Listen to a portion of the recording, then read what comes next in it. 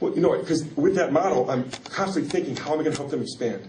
How do I, because that's, you know, Jack, right? There's three steps of living theory, right? Transform the self, influence others to transform, and transform the social formation of where you are. So I'm never bored because it's such a huge, living theory is so rigorous as a research method. It's so rigorous.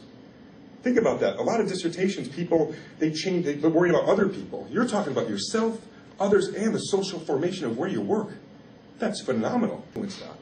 And you need, and that's what living theory, my interpretation of living theory